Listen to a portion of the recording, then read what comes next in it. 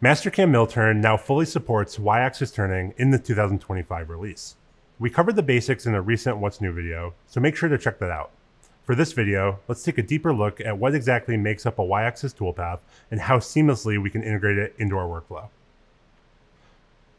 Now in Mastercam, we want to start with our tooling. Y-axis turning starts with defining our tool holders correctly and making sure that our tool libraries are set up how we want them.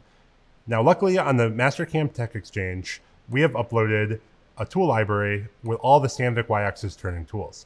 So I've already downloaded that and it's in my, it's in my library here. So I'm gonna open it up. And now you can see that we populated it with all the y-axis turning tools. So let's leave that there. We're gonna go right ahead and, and make a toolpath. So y-axis turning works on all toolpaths in Lathe, uh, and well, Mill-Turn specifically and except for b-axis turning and custom thread. So we're going to go ahead and make a roughing operation. I'm to select the OD of the part. And now we have a couple y-axis turning tools that populate for us. Now we can tell they're y-axis turning tools by the icons in the bottom left. The icon on the top left tells me that this is a multi-insert cutting tool. So I'm gonna go ahead and select tool one I'm gonna move over to my roughing parameters. Now the really nice thing about the y-axis turning toolpath is that all of our parameters have been changed to include y-axis uh, nomenclature. So, so we can see now we have a stock to leave on y as opposed to a stock to leave on x. So we're gonna make sure that we use stock for outer boundary on our stock recognition, and we're gonna regenerate the toolpath. Now when we backplot, we can see the y-axis holder. And when we play it through, we can see that it's roughing the material just as we expect it to. Now we can also see that this is this insert has multiple cutting definitions. So when we do our finish pass, let's go ahead and use the other side of the insert.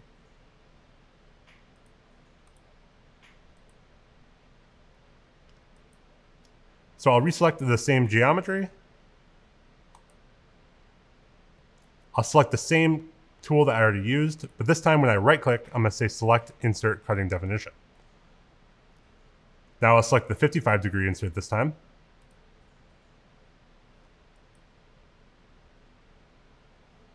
And then I'll hit the green check. Now when we backplot the finish operation, we can see we've rotated the holder so that we have the correct insert now. But the tool is staying away from the side of the part because it sees that it would gouge with the side of the insert. Now, the nice thing about y-axis turning is we can actually change that tool angle uh, right in the tool angle dialog page. So we're gonna go ahead and put in minus 25 degrees.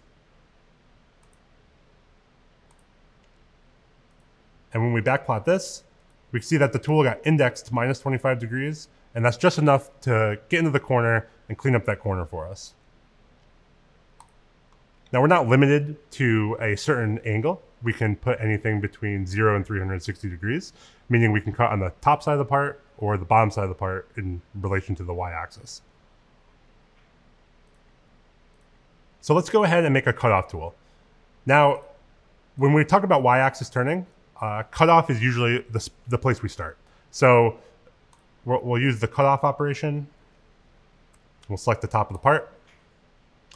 And now we've already given you a bunch of different options for cutoff tools. Uh, we just want to make sure we select the cutoff tool with the correct orientation. That's going to be this guy, tool number three. And we're going to leave the parameters the same. Now when we backplot this, we can see that our cutoff tool comes in, parts off just as we expected to. Now, the last thing we want to do is take a look at simulation. Mill-Turn, as you know, we can fully simulate in the machine environment. So let's go ahead and do that.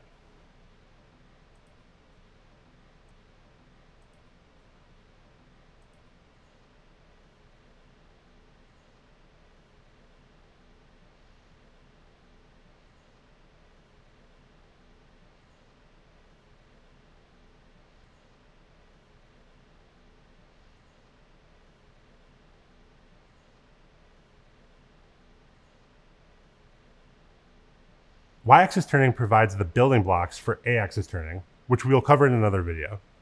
And we understand that changing long-standing turning methods, such as a simple cutoff operation, can be intimidating.